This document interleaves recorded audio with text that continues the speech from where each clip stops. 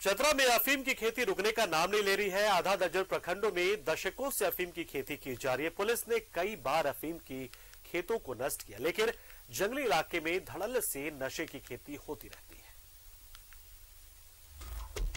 अफीम की खेती के विरुद्ध पुलिस की दबिश लगातार जारी है। हर साल हज़ारों एकड़ में लगी अफीम की फ़सल नष्ट की जाती है।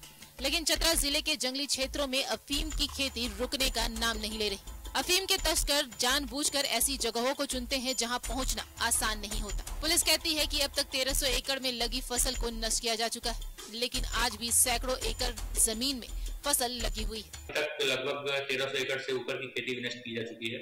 हालाँकि अभी भी कुछ एरिया ऐसे हैं जहाँ पे अफीम की खेती की सूचना में प्राप्त हो रही है और सभी जगहों पर ड्राइव जो है वो चलाया जा रहा है।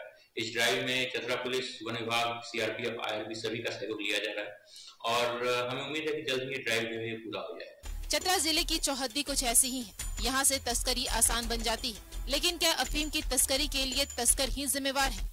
स्थानीय ग्रामीणों की इस संबंध में कुछ अलग ही राय है। तो शिक्षा का सही ढंग से नहीं हो पा रहा। स्कूलों में, सरकारी स्कूलों में वहाँ पे 400 बच्चा है, दो टीचर है, खाना पीना का वैसा ही वहाँ पे व्यवस्था चलता है तो उसी से मतलब उसको ठीक किया जाए।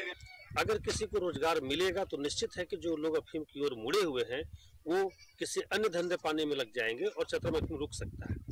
चतरा जिला प्रशासन बहुत प्रयास कर रही है, लेकिन वो उन्हें तभी सफलता मिलेगी जब आप गौर करेंगे कि किसी भी पर्सनल ज़मीन में अगर कोई अफीम की खेती करता है तो उसके ऊपर एफआईआर होता है। अगर ये एफ़ फॉरेस्ट के ऊपर भी होने लगे क्योंकि आप सुने होंगे कि बहुत सारे जगह में फॉरेस्ट की ज़मीन पर अफीम पैदा किया जा रहा है।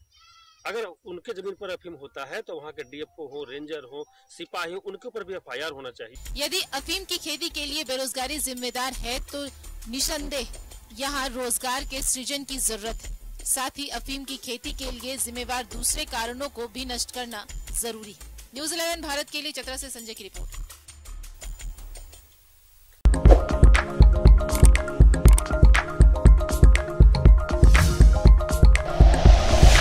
Like and share videos, subscribe करें हमारा चैनल और प्रेस करें बेल आइकॉन न्यूज़ 11 भारत सच है तो दिखेगा।